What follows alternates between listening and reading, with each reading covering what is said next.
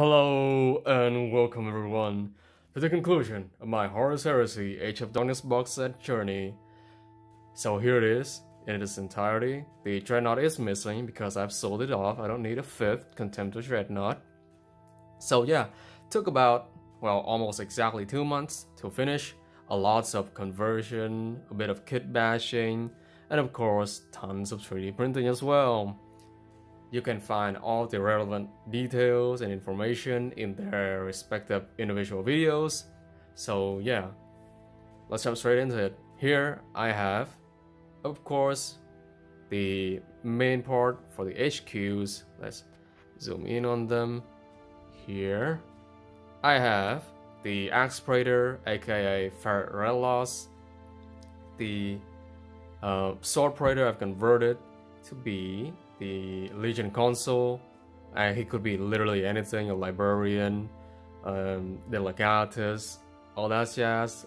Here I have the, what you call him, Vigilator, a Master Signal on this side, a librarian with jump pack, and yeah, and of course, this guy, he is Kharn, not Kharn, he could just be a Consul or Praetor with plasma pistol and Chain Axe, Power Axe, or just Chain Sword. I am gonna be playing them as 40k World Eaters as well, so yeah, Kharn.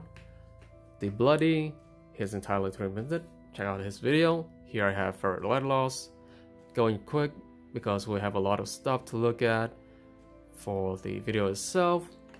Here, the Consul it is gonna be the Dark Apostle for Chaos Space Marine 40k as well, hence the two little sidekicks behind him. The Vigilator, looking chuff. As always, the Librarian Jump Pack, pretty nice, pretty awesome Lion shoulder pad. And we all know what happened when the lion got angry with an certain incident involving chaplain and librarian. Here the master signal converted from the accessory sprue for the vehicles. Um, Mark II Space Marine printed out a pair of legs and voila, you got a little master signal. So yeah, that's it for the HQ. Behind them are the, what you call them, elites. They're just cataphractii terminators with Chain Fist and Stonebolter. I could just call them with what you call them Chain Axe, but they are gonna be 40k. I want them to be a bit different. So yeah, here's the Sergeant, as you can see a bit better in their details. Lots of printed shoulder pads, the head's shoulder printed, 3D printed, not shoulder printed. The arm mounted bolter is something I went with. For these 10 Terminators, of course Chain Axe, because they are gonna be World Eaters as long as as well as Dark Angels. Here's a guy with actual chain fist.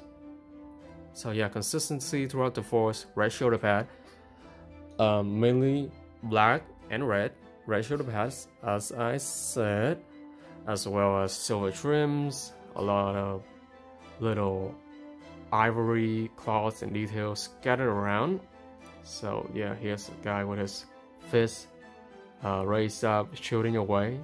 One of my favorite model post Y for the Cataphractii.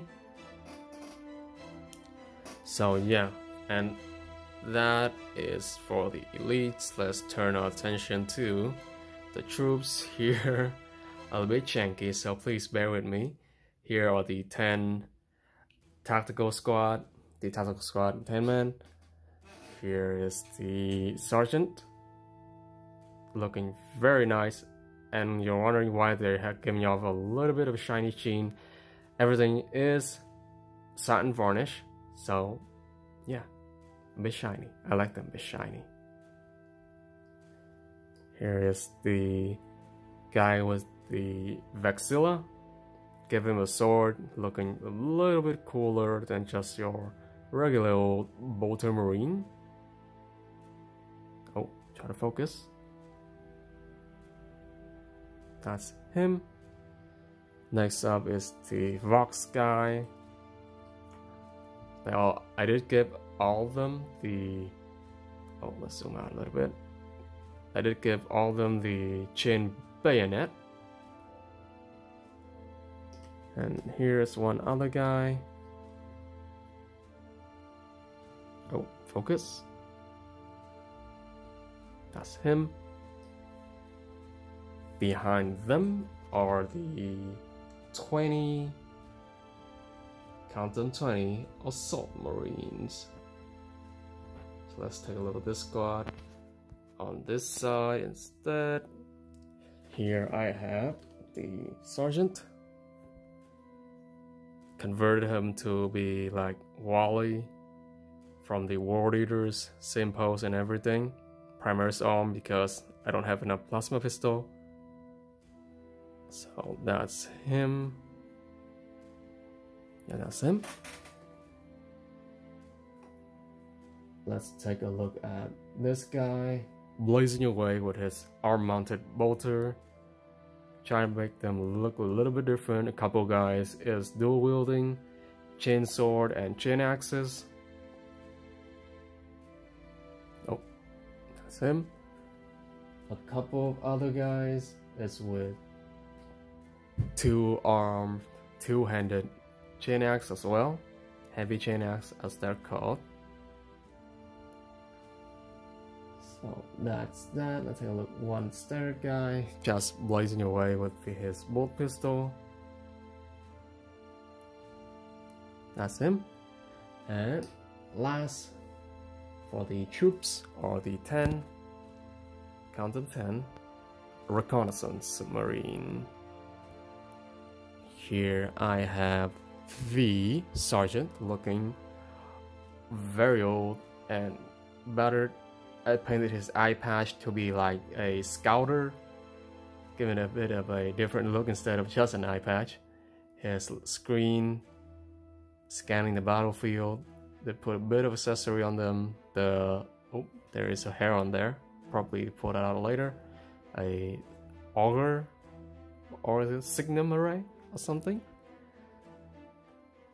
Here I have the Second guy, this guy probably gonna be sergeant if I'm running them in 40k for a five-man squad. That's just a regular tactical, very cool beaky helmet, more edgy than the regular one. And let's just take a look at another one. Pretty easy conversion, just a suppressor, a scope, and yeah, everything turned out very nice. So that's him. Fire wing, of course. I did forgot to tell them about you about the wings. The hexagrammaton, hexagrammaton or hexagrammatron of the Dark Angels. So yeah. Oh, last but certainly not least, we have the Spartan assault tank with some doors. Oh. First thing I painted in the entire army turned out very nice. I did magnetize the front bolter, the inside, or the lascannon. I shoved them inside for easy storage. 3D printed doors, hatches, of course the quad lascannon, sides. Yeah. Should probably tell you about the wings. The um these guys are Deathwing, pretty pretty important. Deathwing these guys are Stormwing. And the guys from the back are Dreadwings. Yeah, so yeah, that's it for this video guys. Thank you all so much for sticking with me throughout this entire little series of mine. So yeah, have fun, go slay the gray. Thank you all so much for watching. Like, comment, subscribe, all that stuff. Till next time, stay safe stay awesome, have a nice day, and goodbye.